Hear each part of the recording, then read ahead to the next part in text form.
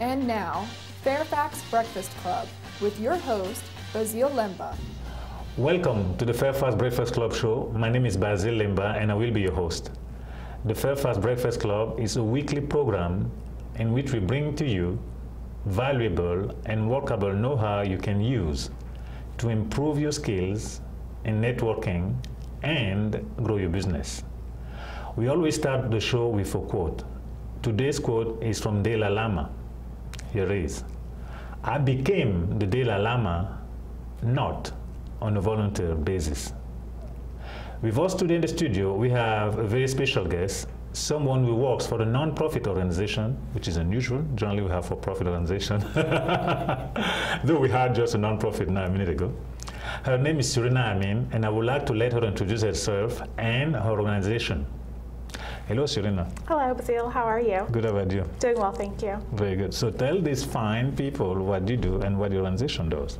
Sure. Well, the Barker Foundation is a nonprofit adoption agency Mm-hmm. located in Bethesda, but we are also licensed in uh, Virginia, Maryland, and DC. Mm-hmm. We provide all types of adoption services, including birth parent counseling, domestic infant adoptions, Mm-hmm. international adoptions, and the program I work specifically with, with, which is the Older Child Adoption Program. Okay. Now, you mentioned to me something when we talk about the phone, the older child adoptions. You mentioned that people may not be aware of it, its existence, what it does, and what have you. Can you be uh, discuss that for a minute? Sure. Well, if we look at some of the statistics about um, United States foster care currently, Mm-hmm. there are over 400,000 children awaiting foster Oh, that are currently in foster care, and over 120,000 of those children are currently awaiting adoption. That's a very, very large amount of children who are waiting for adoption. Okay, let me ask you, let me, let me stop there. Why do we have them many waiting for adoption? What is the problem? How did they wind up there? Parents died or what? Or wh- wh- how did that happen? Because we're not treated well in the family? Where are they coming from? Well, that's a great question. Um, most of the kids come into foster care due to some type of um, abuse or neglect situation. So, oftentimes, that could be physical abuse, emotional abuse, sexual abuse, or just instances of neglect. So, um, you know, a lot of times there's misconceptions about the kids who are in foster care that they may be juvenile delinquents and things like that. But most of the time, these kids are ending up in care due to no fault of their own. Gotcha. Okay. So then there are those, and then how what how your program works? How how, how do you come to help them? Well, what our program so specifically does is we contract with public agencies such as Fairfax County Department of Social Services, and we work with them to find and recruit families for uh, adoption, mm-hmm. and then we will work with the public agencies to find kids who are currently in the foster care system mm-hmm. through a specific matching process. Mm-hmm. So on our side, we're working with the families, and then we search for the kids in foster care to find the best possible match for that child and that family. And we really focus on child-centered practices to advocate for what's best for the child. So at the end of the day, we really want to find the best family and the best fit that we can find to make that a successful family. Should we say that you are like um, a recruiter and HR, not as the same thing? I mean, not the same thing, of course, usually, because emotion and other things come in play when it comes to matching. Because not just, what I'm trying to say, not just a matter of grabbing a child and putting him somewhere, but it's a matter of taking a look at the child, seeing exactly who it is, and seeing if he can fit in the family, trying, interested in taking him on. Is that, is that what it is?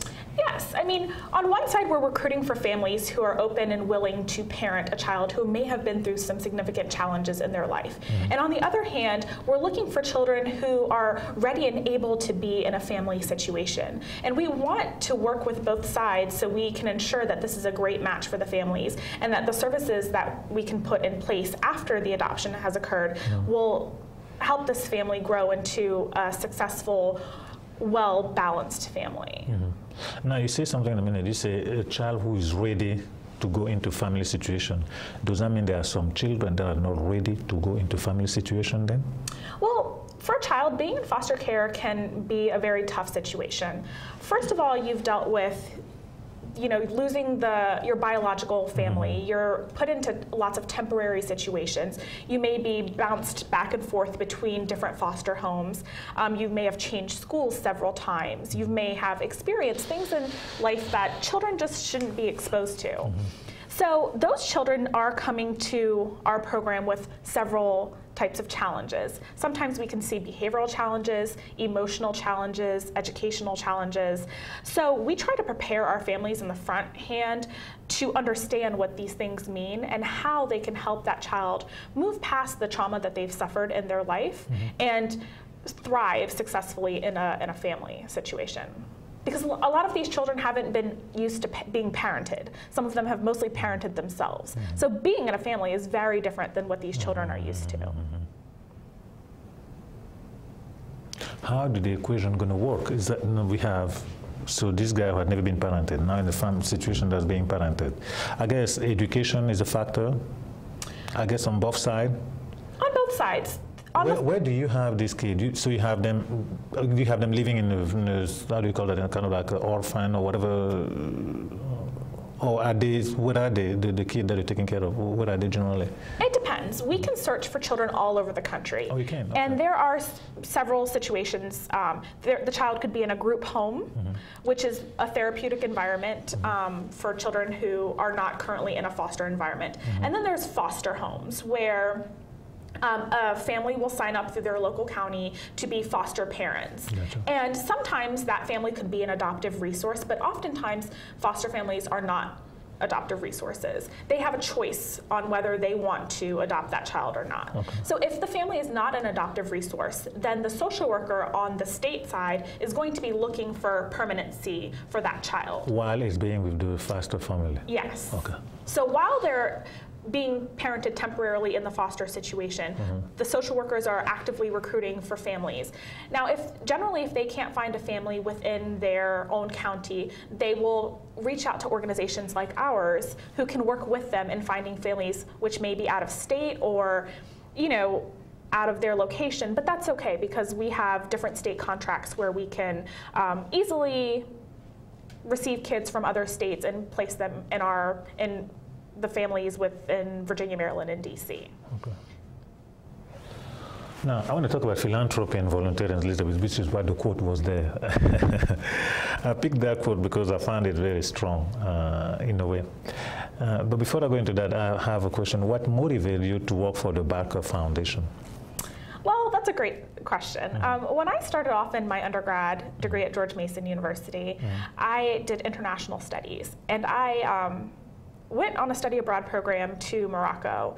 Oh, you did? And we had a um, we worked at an or, uh, an orphanage there, uh, and we spent some time kind of learning about this organization and seeing the kids there, and it really opened my eyes to the field of adoption. So when I came back home, I kept thinking about this orphanage where I'd seen kids just sitting in really large playpens, and there was maybe 30 toddlers, just you know, and we we couldn't pick them up, we couldn't hold them, we couldn't cuddle with them because you had 30 of these children that needed and wanted attention. Otherwise, I have to cuddle 30 people. Exactly, exactly. So um, when I came back, I, you know, it was something that just lasted on my mind, and I started working at uh, a law firm in D.C. where I met an adoption attorney, and um, he connected me with the Barker Foundation as a volunteer experience. So I decided to move forward and do my master's in social work, and I ended up doing my internship at the Barker Foundation, where I worked for the older child adoption program. Mm-hmm. And once I graduated, they had a position available for me, and I've been there ever since. Mm-hmm. So basically, you are a volunteer at heart. I am. I am. Okay. And I think a lot of people who end up doing work like this um, have to have some kind of connection mm-hmm. and, and some reason why adoption or foster care is so important to them. Mm-hmm. But then again, it's also a great field, and at the end of the day, you go home and you can feel happy about what you're doing, and that was very important for me. Mm-hmm. You know, I work in a non-profit organization for 10 years, mm-hmm. personally. And um, I came to the non-profit arena. And one, one of the things that struck me in a non-profit organization, at the end of the day, we say, "My God, we need more time. We got to stay. We need, we need more time. We, we want, we need to do this. We, we can't go home right now." That's the feeling that I saw, and it was so a contrast with the for-profit organization, and whatever, look, what time is it? Is it time yet? We gotta go. Is it time yet? Mean, to me, like, to, having worked there for 10 years, and then one of it was just striking. It, it to me, it bring back uh, this remarkable philosopher Hubbard who says, the first motivation of an individual is duty. That's what the Dalai Lama quote is I become a volunteer, I become a Dalai Lama, not on volunteering basis, but because he felt he has to. You get what I'm saying? And that is the highest motivation. And uh, I want to take that up because there is a sense in the culture, yeah, I got to make money, I got to, everybody's like running after money. But deep down, is yes, money is important, yes, we got to pay the bill. But that would not drive a human being as much as the sheer willingness to do, to help people, or because the sense of duty to get something done. Yes, very much so. To me, that's very exciting. And I believe that we have the for-profit organization which we need to have, but the non-profit has really one keeping this thing going. Yeah. And, and one thing I've tried to do a lot on my side um, as the outreach coordinator for the program is to connect with a lot of for-profit businesses mm-hmm. because they can really be uh, useful with just in helping to spread the word of older child adoption. Mm-hmm. If a for-profit company puts up a flyer at their store or if the, you know, the owner of the for-profit company is an advocate for adoption practices, just word of mouth ends up really helping and finding families for these kids who are just waiting for mm-hmm. some permanency in their life. Mm-hmm. And it's so, you're right, it's so fun. We need both worlds, I'll say that. We do. But to me, the world sits on non-profit organization. An example is the government. You know, I was at seminaries. In fact, I was talking to Gerald Gordon, the, the, the CEO of uh, Fairfax County Economic Development Authority. Uh, there was a congressman there speaking. You know, I, when the congressman everybody started to turn off his from the government. Let's not listen.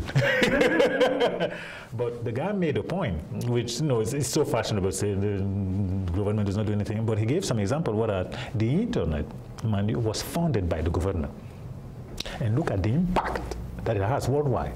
Oh yeah. You get what I'm saying? So when you start thinking about that, you, you start looking at those non-profit labs, huh? Eh, eh, eh, because you go to a networking event, and I want to address that over here because this will be listened by several business people. There's a tendency when somebody say, "Well, I'm from a non-profit organization," people are, "Yes, yes." the interest drop drop down.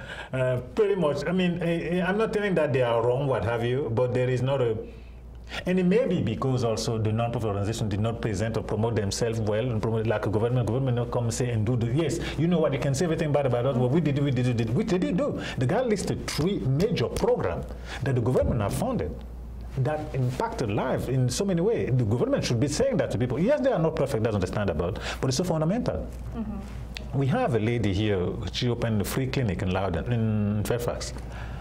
And she went around and started grabbing people. Yeah, give me some money. Say, I need the place to do this. I need to get to do this. Da, da, da, da. Yeah. Oh, doctor, we need one hour from you. Da, da, da. And people are, hey, why are you doing all this?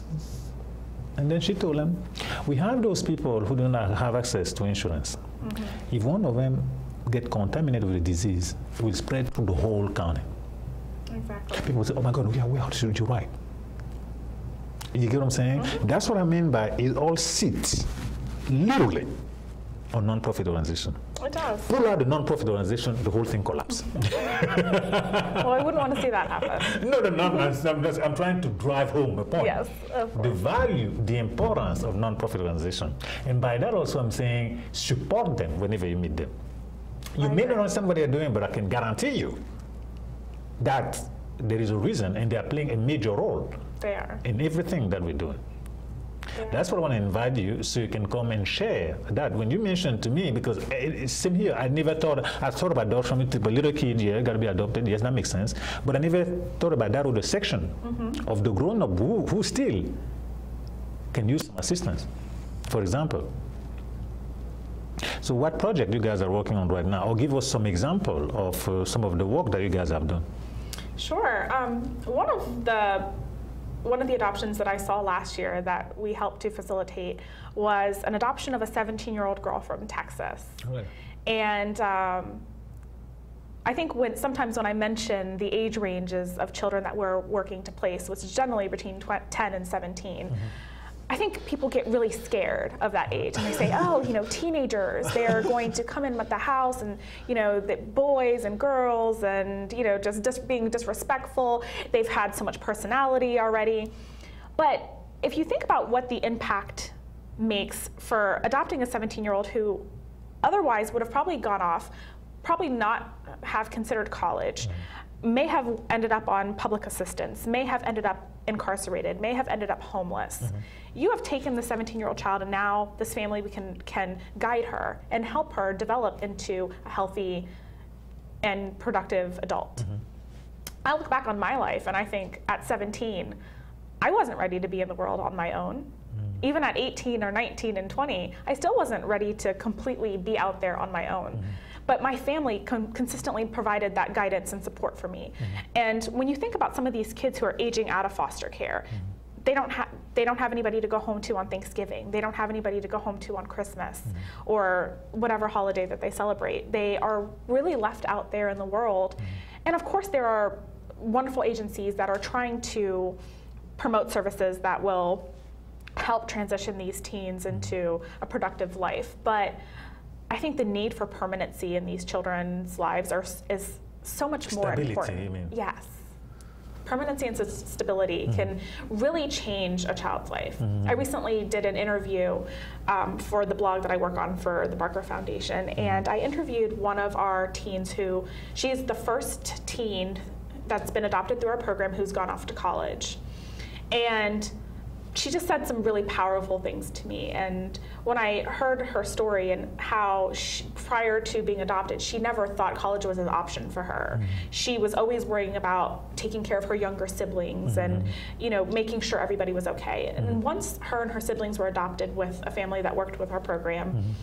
she thrived. I mean, not saying that she didn't have her challenges, but this went from a young lady who never thought she'd be in college and now she's studying psychology mm-hmm. at a four-year university and i think stories like that are just what really opens my eyes to this field and, and how much these children need a family to mm-hmm. help them with those circumstances.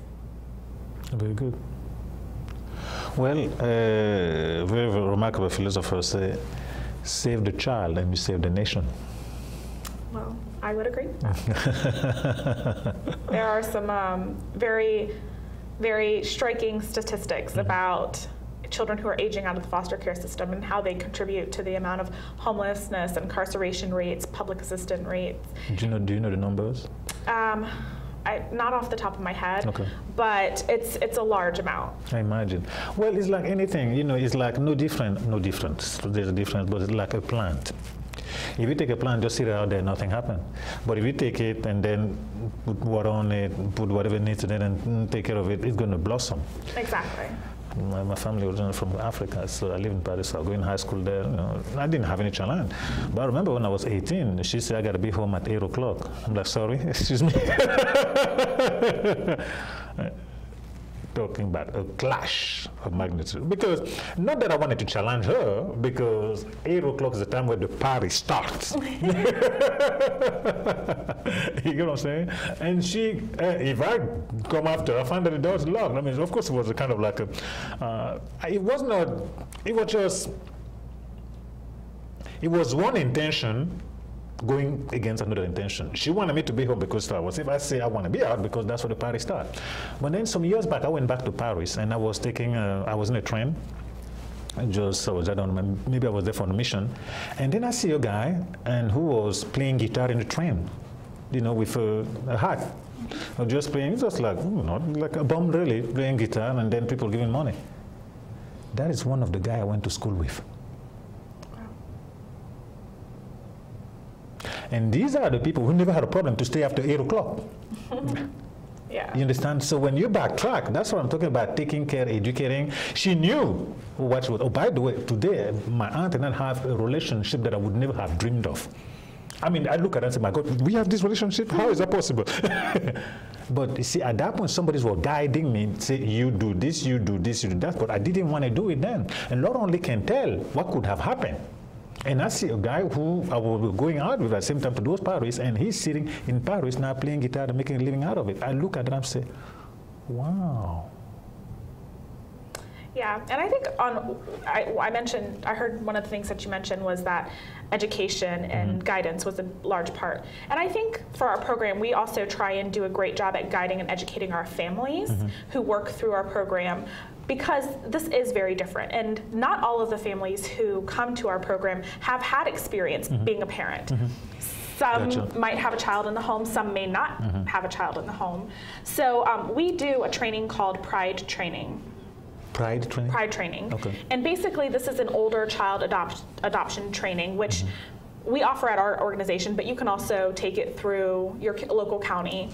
Um, and it teaches you about the various challenges that you can see in foster care. So mm-hmm. it'll talk about attachment challenges, um, grief and loss, transracial and transcultural adoption. Mm-hmm. Um, just various various topics that you see that are very common in foster care adoption. Mm-hmm. And I think this is a great opportunity for families to learn more. Mm-hmm. Even if you they might think, okay, this might not be for me. Mm-hmm. They can come in and, and learn about the program through this training mm-hmm and it really opens i think their eyes, their eyes mm-hmm. to all of the various challenges that you may see mm-hmm. and at some point there might be families who will say, okay, well, this might not be the type of adoption that's for our family, and that's okay. Mm-hmm. And then there might be the other families who say, this is exactly what we were looking for. Okay. So, again, older child adoption is not for everybody, but mm-hmm. I think if people can get educated about it and have an agency or someone that is knowledgeable about the type of adoption they're interested in. Mm-hmm. It can be very helpful in guiding and making this a smooth process. Mm-hmm. Very good. Well, we see the website here. We, we, want to put on the screen there so people know can learn more about your foundation and get that data. And also, I want to segue into the expo coming up. But before we segue into that, I would like to show you a short section over here of uh, our expo coming up on May 17th.